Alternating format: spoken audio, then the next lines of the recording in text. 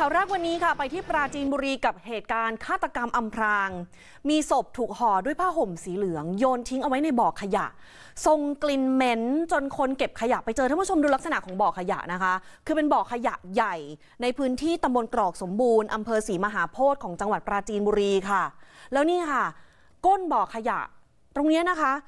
ลึกลงไปประมาณ 8 เมตร ตรงเนี้ยทิ้งเอาไว้ศพซึ่งมีผ้าห่มสีเหลืองห่อ แล้วก็มีเชือกฟางผูกเอาไว้เป็นเปลาะๆตลอดทั้งร่าง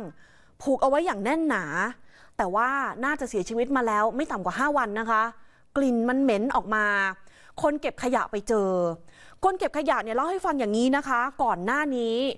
ก็มาทิ้งขยะที่บ่อขยะนี้ประจำก็ยังเห็นไอ้ผ้าห่อเหลืองๆอยู่เนี่ย แต่ไม่ได้เอะใจ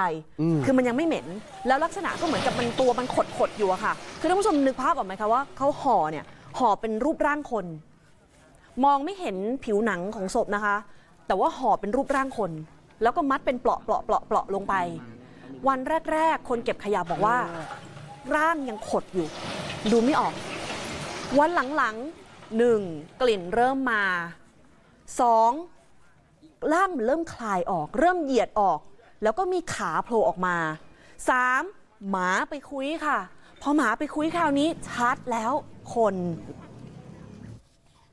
คือเห็นตอนแรกก็ยังขดอยู่ใช่ไหมเป็นผ้าห่อห่อก็เก็บเนี่ยคือกันเก็บมาเช้าแต่แต่วันนี้ก็คือเห็นสภาพก็คือเหมือนเหยียดออกใช่ไหมพี่เหยียดแล้วอืมแล้วกลิ่นก็ลืมกีเลยออกเลยขาเขือออกหมาแล้วน่ะอืม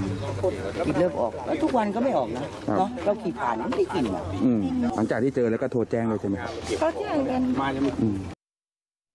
เนี่ยค่ะ เบื้องต้นนะคะทางผู้บังคับการตำรวจภูธรจังหวัดปราจีนบุรีพลตำรวจรีวินัยนุชชาค่ะบอกว่าเอ่อ บ่อทิ้งขยะนี้นะคะ มันอยู่ในท้องที่ของสพระเบาะไผ่คาดว่าศพเนี่ยน่าจะเป็นเพศหญิงอายุประมาณ 30-40 ปีค่ะ ในตัวไม่พบหลักฐานว่าเป็นใครก็ต้องรอทางพิสูจน์หลักฐานเข้าตรวจสอบ เชื่อว่าเสียชีวิตมาแล้วไม่ต่ำกว่า 5 วันนะคะ คือสภาพศพเน่ามาก เอาเป็นว่าการชนะสูตรพลิกศพเบื้องต้นนะคะ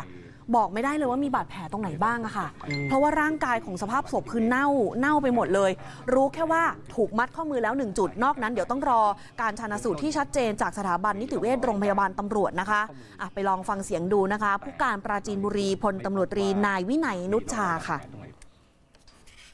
เบื้องต้นเนี่ยมีร่องรอยการ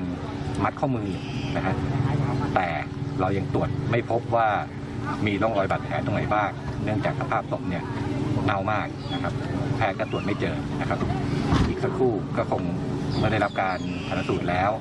นะฮะคงจะทราบถึงสาเหตุการตายที่แท้จริงอืมบ่อขยะนี้นะคะ เป็นบ่อขยะที่ห่างไกลจากชุมชนและเข้าออกได้ทั้งจากจังหวัดปราจีนบุรีและฉะเชิงเซาเชื่อว่าคนร้ายที่เอาศพมาทิ้งน่าจะดูลาดเรามาก่อนหน้านี้แล้วล่ะ คือคงจะเล็งแล้วล่ะ ตรงเนี้ยเป็นบ่อขยะใหญ่เข้าออกได้หลายทาง น่าจะเป็นการอำพรางคดีชัดๆเลยนะคะ เดี๋ยวรอการสืบสวนสอบสวนต่อไป ครับ